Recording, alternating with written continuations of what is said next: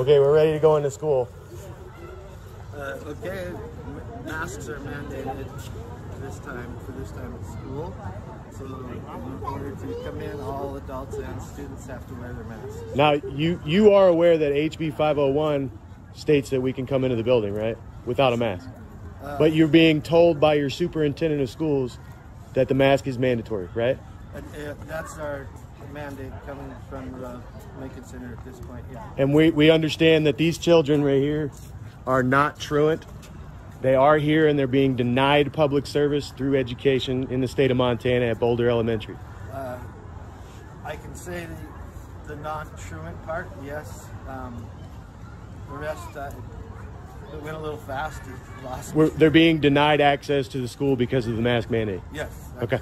If if they choose not to wear the mask. Right. Okay. Awesome. Well, I guess everybody have a good day.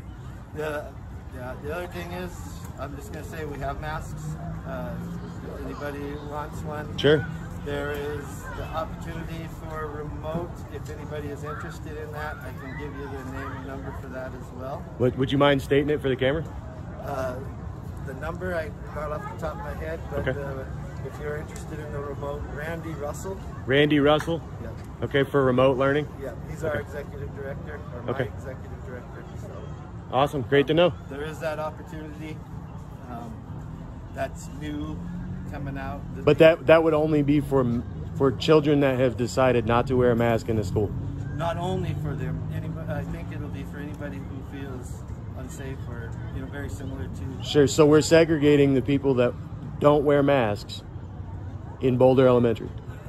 And I know that this isn't your decision. I understand that this is the I- superintendent of I don't know schools. about the, the segregation. I just know that that's also an offer. Okay.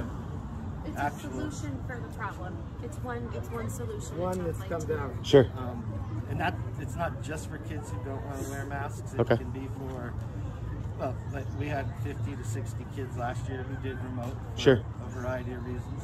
Right. Um, we also have a remote for uh, students who have underlying health conditions. Sure. Um, and so I've been working through getting the right contact and stuff for that through the district. So, Absolutely. Well, I appreciate your time. yeah, you bet. If you need anything, you can call or I have a feeling I'm going to be busy. So, Pretty sure. I may not be able to get back to you right away, but if you have a question or concern that I can answer or you need something, please call me or you can come in, but you have to wear masks.